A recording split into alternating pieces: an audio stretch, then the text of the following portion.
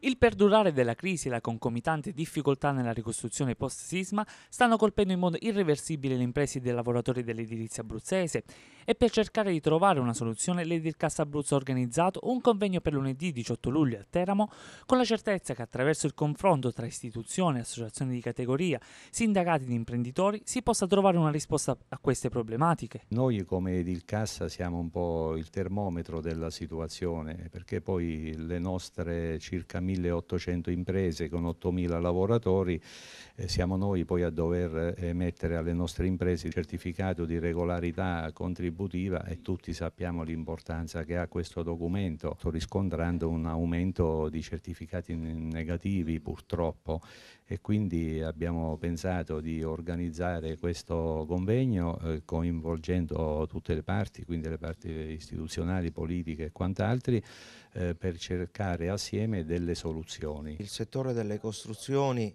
si sta bloccando, si sta fermando ed è un vero e proprio peccato perché di fronte a una crisi internazionale globale tutti gli economisti hanno sempre dichiarato, ed è così, che eh, le costruzioni, il settore delle costruzioni è capace di rimettere in moto l'economia perché ha una funzione anticiclica. Possiamo aggiungere un'altra considerazione, questa è una crisi della domanda. Ecco, tutti i giornali di oggi citano che per esempio all'Aquila per la ricostruzione c'è bisogno uh, di trovare sistemazione a 30.000 persone.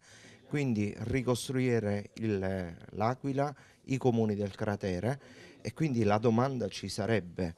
Se ci sono anche i finanziamenti, perché questa ricostruzione non parte?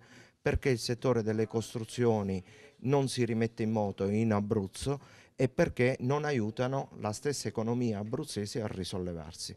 Ecco, noi vogliamo partire dal DURC, dalle implicazioni del documento unico di regolarità contributiva, perché questo è il tema del convegno, però per interloquire con eh, i, i, responsabili, della, i rappresentanti della regione, quindi il presidente Chiodi e il vicepresidente Castiglione, porre, fare delle proposte proprio per aiutare questo difficile momento e aiutare l'economia e i cittadini abruzzesi.